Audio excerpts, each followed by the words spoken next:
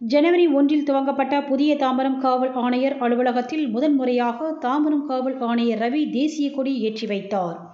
நாட்டின் எழுபத்தி மூன்றாவது குடியரசு தினமான இன்று நாடு முழுவதும் பல்வேறு அரசு துறைகள் சார்பாக தேசிய கொடியேற்றி இனிப்புகள் வழங்கி கொண்டாடப்பட்டு வரும் நிலையில் சென்னை அடுத்து தாம்பரம் மாநகராட்சி புதிதாக உதயம் ஆனதை தொடர்ந்து கடந்த ஜனவரி பனிரெண்டு பழைய மாமல்லபுரம் சாலை சோழிங்கநல்லூரில் புதிய தாம்பரம் காவல் ஆணையர் அலுவலகம் திறக்கப்பட்டு இயங்கி வரும் நிலையில் இன்று நாட்டின் எழுபத்தி இரண்டாவது குடியரசு தினத்தில் தாம்பரம் காவல் ஆணையர் அலுவலக வளாகத்தில் காவல் ஆணையர் பதவி தேசிய கொடியை ஏற்றி வைத்து இனிப்புகள் வழங்கினர்.